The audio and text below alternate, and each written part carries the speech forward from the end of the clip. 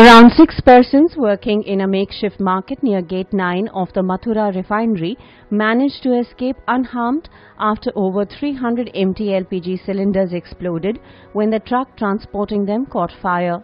The incident took place around 11.30 am when the truck driver, who was on his way to the refinery to refill the cylinders, stopped for some welding work at the market.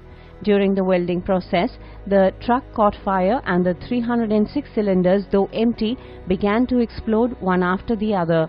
The welders and others in the vicinity ran helter-skelter to escape from the blast.